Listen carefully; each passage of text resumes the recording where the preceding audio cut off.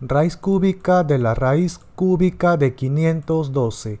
Así que, como hay una raíz dentro de otra raíz, colocamos una sola y multiplicamos acá los índices. 3 por 3, 9. Por acá viene 512. Ahora busquemos 9 números iguales que multiplicados de 512. A ver, cómo termina acá en cifra par, probemos con un número par. Por ejemplo, con el 2, a ver. Si lo multiplicamos 9 veces a ese 2, ¿qué número resultará? ¿Resultará el 512 o no? A ver cuántos hay. 2, 4, 6, 7, 8 y 9. A ver si multiplicamos esto.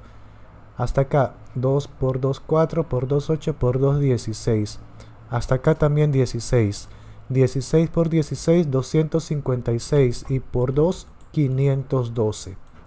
Salió.